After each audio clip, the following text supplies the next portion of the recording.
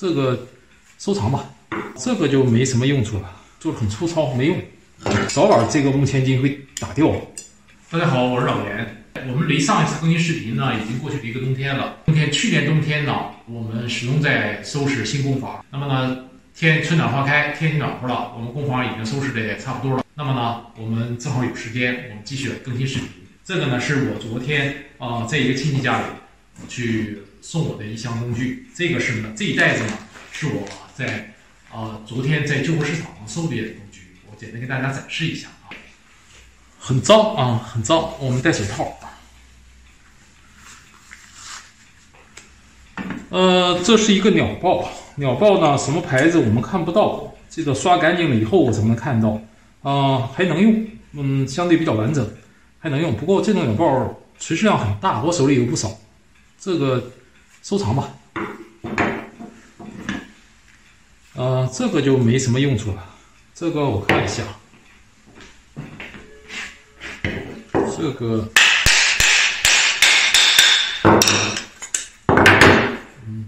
这里已经烂掉了，这里烂掉了就不怎么太好用了。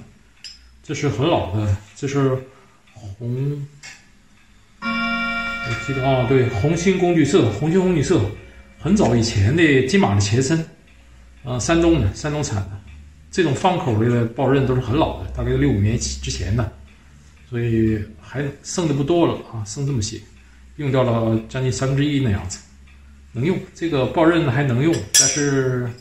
没什么意义。这种抱子有一个问题，这个千金呢是后加的，凡是铁压盖儿，这是日式的铁压盖儿的包子，如果用木千金的话，必然会打掉啊，必然会崩崩边的这下场，这个千金肯定会崩掉。他就是把千金崩掉了以后，为了还能使用，又加了一根铁的千金，一根钉子加进去。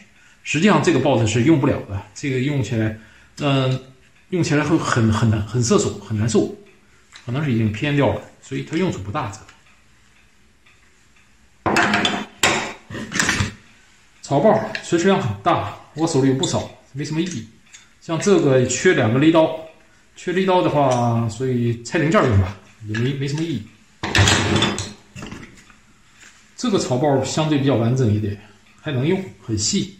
不过槽包的尴尬在于，现在用处都不怎么太大了，没有什么槽是电木洗开不了的，修边机啊、电木洗啊，啊比较方便，然后靠山一放，唰唰就出来了，这个就很难掌握，不好用这个，所以这种东西实用性都不强，玩留着玩吧。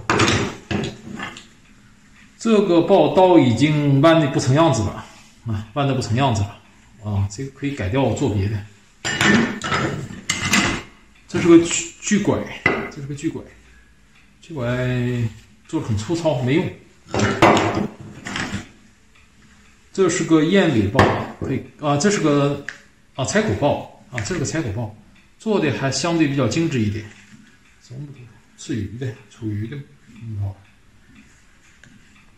这个柴口，柴口这个还行，可以用，这个可以用，做的还算可以。嗯，抱床这个拉包抱床做的不错，而且是呃材料也不错啊，材料也不错。这个是这个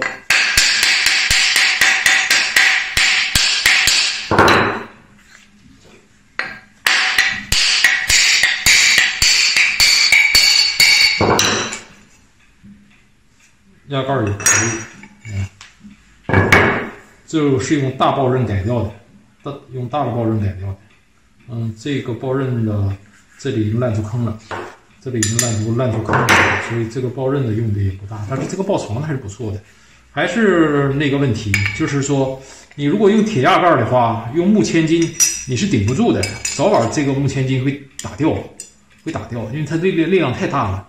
所以将来未来要用的话，还得改一下，给改成木木楔式的啊，木楔式的，它有弹弹力。不过这个抱床相对还是不错的，只需要找个合适的抱刃，重新做一下，重新这个还能用。啊，这个抱床的也很不错，但是这个抱床的是什么材料的？我看不出来，像红花梨的，是什么材料？这里裂掉了，但是抱床做的还不错的。唯一一个问题是我没看到这里有它的抱刃，没看到有它的抱刃，这个抱刃都不见了。今天手头这几个抱刃呢，这里的这些抱刃全都不对。全都不对，包刃全都不对。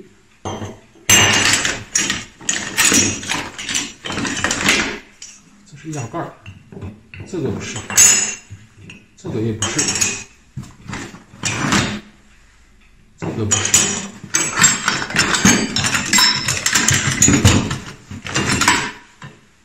这个也不是，这是金马的，潍坊金马，老老金马，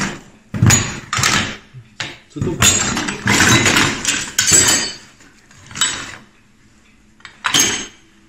这个都不是，这都，没用。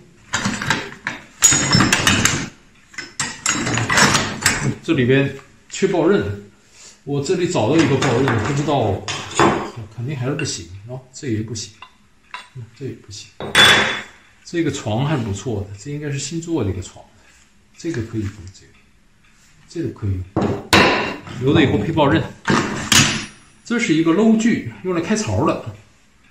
呃，我们正常开槽的话，在木材开槽的时候，我们会有个简单方法，是把一个木材呢，把一个比较直的木方，然后放在这里来，哎，一这样开槽开出来。它开槽镶板用，这个还是可以用的。但是现在也是有洗到了以后，谁用它开槽？很麻烦。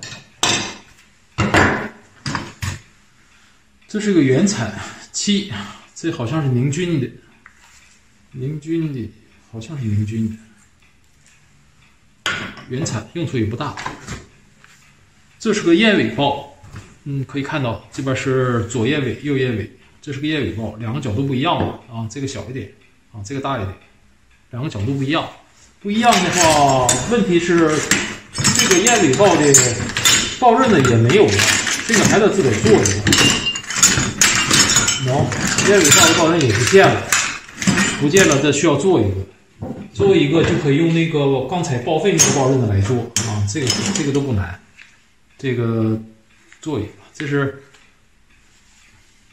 嗯角度不一样，燕尾抱，不过燕尾抱我手里有很多，这个用处也不大。这是一块木头，这是什么材料？我看不出来，啊，楚鱼的啊，不是佐木的，这个就是青钢，就是我们看到的青钢，这都是最大的特征。青钢的特征就是这样式的，有细长的纹纹路，然后这边这里看不到，端头有辐射纹，端头有辐射纹，现在有蜡打的看不到。嗯，这都没怎么。嗯，这里又是一个秒爆，这是个钻石的，好像是这个标好像是钻石标。秒爆，这个也是个好，能用。啊，这是个修边机的靠山，这个没啥用。嗯，这里是一个铝刃的凿子，我就是看不出这几分的凿子，这会儿是二分的、三分、三分凿子，这凿子已经砸的这样子，用处也不大了，完蛋了。这是笨木匠就这么干活，也不加个柄，直接拿它凿，这没法做，哎，没法做。这个是好像，哎呀，这个是铝刃吗？这个这么差呢？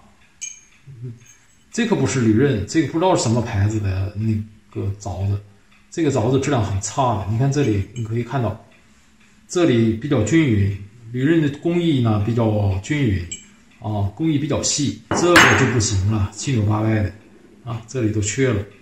这个是很明显不是后来改的，就是原来就是这样子，这个质量太差了。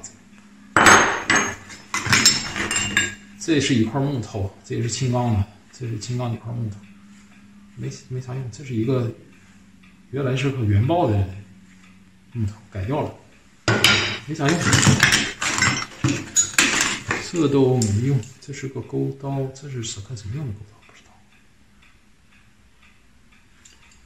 这个没啥啊，这是原来啊以前呃，是安窗户，这是以前安窗户呃打腻子的腻子刀。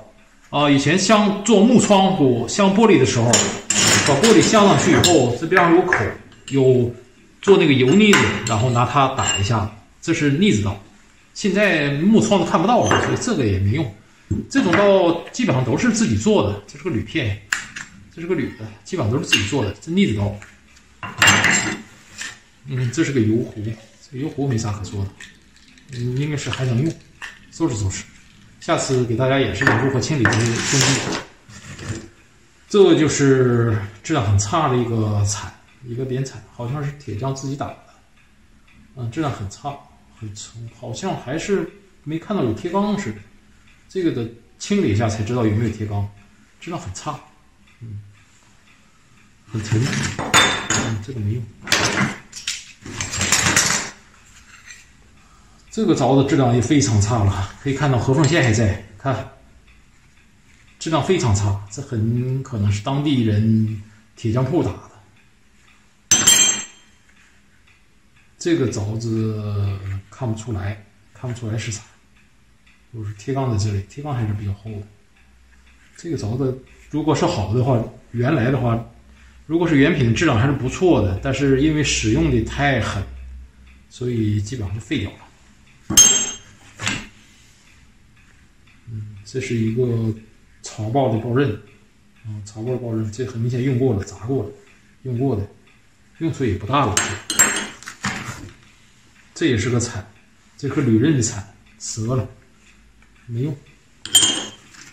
嗯，这是个花豹的，做窗、做窗口的刨刃，这是自己磨的，磨成这种情况，做外边那个窗口，一次性出来。没用啊，也是没用。嗯，这是一个开孔器，这个开孔器可以自己自己阀的。这种开孔器是不错的，现在国外有这种，我在国内看到的很少。这是个槽爆的爆刃，这个也用处也不大。这是个啥？啊，这是个钢钢钢马。哦，这是个钢马，这个还行，比较新。钢马。好了，这箱工具就这些，没什么用处。这是我的。嗯，我们可以看一下啊，呃，这些是这些是还有一部分价值的，这些已经价值不大了啊。这个还行，这个但是什么牌子不知道，看不出来，没牌子。不过还行，质量还可以，但是得需要自个儿修啊。这这全磨完了，磨圆了，这个的抱刃还能用啊，这个还能用。就是这个这个不是，这个刨刃的也不错，剩下的。都没什么意义。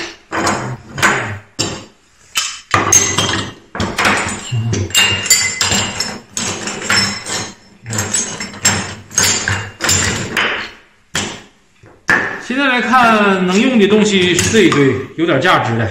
咱们这堆基本上就没什么价值了，用处都不大。这个呢，当个玩意儿收藏。你要说收藏的话也行，你要说干点软木的话也可以。这个得锯得伐一下。干个软木头也可以，那那就归到有用的，这里就没用了，这一堆就走您了。好了啊，这一堆是有用。然后我们再看一下，我们昨天，我们再看一下昨天在市场上收到的一些旧工具。这个旧工具呢，价格说的都不贵。我这人呢，就是我看到了就想拿，啊看到了就想收起来。这个东西丢给别人的话，就像这样一样，就像这种。就会这样给造掉了，这个比较可惜。那么我看到了以后，我就收下来，收下来最起码我能能妥善保存啊。我最起码在我手里能妥善保存，给它翻新啊，使用也好还是不使用好，最少呢还是个能维持到良好的状态。呃，这里呢大概有一、二、嗯、三、四。嗯，五五只原产啊，这是原产，全是原产。这个原产呢，这个把是后后镶的啊，这个把是用左木后镶的，镶的比较差。这个把是原把，但是已经断掉了啊，这个肯定是傻子拿东西砸的啊，这已经断掉了。这是圆柄，圆柄已经断掉了。这个是原彩圆柄啊，这些是原彩圆柄。这个是铝刃的，铝刃的这几个呢。应该都是，应该都是，都是是铝刃的原产。这个东西是以前木木型公用的，现在已经用处不大了，用处不大。但是搜一下吧，看到了基本上我就想收起来。呃，五个原产，然后呢有两个平铲啊，这个是吊把儿。吊把儿呢是东北这个地方呢，你夏天的把儿呢，冬天是肯定会掉的，因为冬天太干了。我那里抽屉里放的东西，然后放的吊把儿很很很常见。它的木头夏天做的时候木头比较潮，然后冬天天气一干，然后把儿就掉掉了，这个很正常。那么两箱的容两箱的凿子容易出掉把的问题，像这种三箱，因为它中间有个轴，所以像这种东西一般很少掉把。这也是日本人为什么做成三箱的凿子的原因。这个质量就不太好了，这个质量。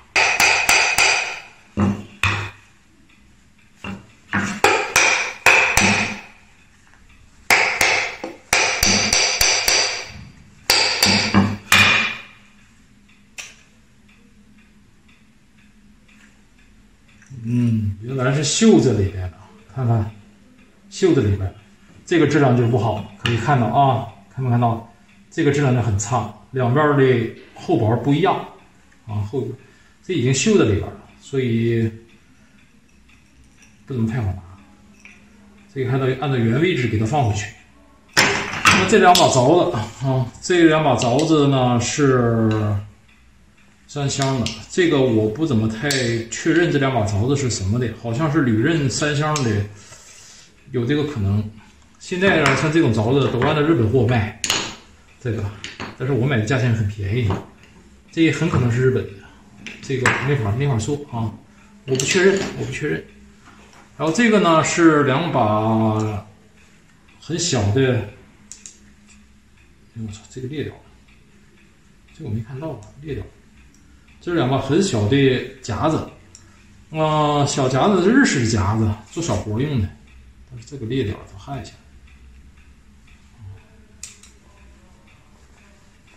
很小的夹子，日式的做小箱子啊，做小小活日式的工具做小活很很舒服啊，很方便。日式的工具呢，适合做小活那么小活呢，它比做的比较精细啊，做的比较精巧，用起来家伙事呢，用起来也比较舒服。嗯，这是自己吊的把这个呢就是。一个火尺啊，这个是应该是老木匠自己做的火尺，这是铜的，这个尺头是铜的，我的这个铜的，这个做的还是比较好。但是唯一一个缺点呢，就是你不该放个铜的，你用一个元宝螺母就好了。这样我们可以把它拆掉，我们可以把它拆掉以后，不知道口啊，螺纹不一样。以后吧，这里按一个铜的元宝螺母，这个东西就活了啊，这东西就特别方便了。啊这是铜的一个活齿，用起来很舒服，做的很好啊，做的非常好，挺厚的铜板，做的非常好。这几件呢是我在昨天早晨，这几件呢就是昨天上午在旧货市场收过来的一些老工具，嗯，好东西不多啊，都一半，东西都一半，但是呢。大家可以猜猜多少钱啊？大家可以猜猜这些东西多少钱收的？好，今天就到这里啊，谢谢大家。